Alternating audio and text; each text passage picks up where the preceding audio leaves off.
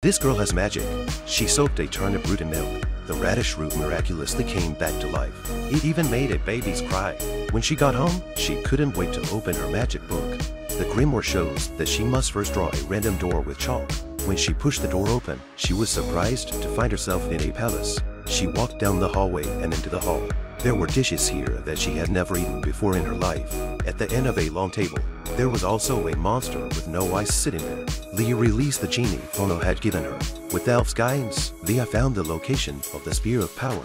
Just as Leah was about to leave the palace to go back, she looked at the table full of food. She forgot what Fono had told him. She picked up the food on the table and put it in her mouth. And that's when she completely awakened the eyeless monster. The sleeping monster awoke.